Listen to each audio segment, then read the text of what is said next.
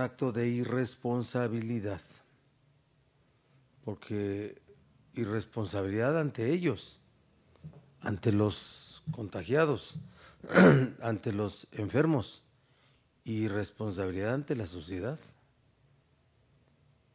Entonces hagamos de esto un, un esfuerzo como hasta ahorita los poblanos estamos ya respondiendo de manera colectiva, unificada. Sigamos aguantando.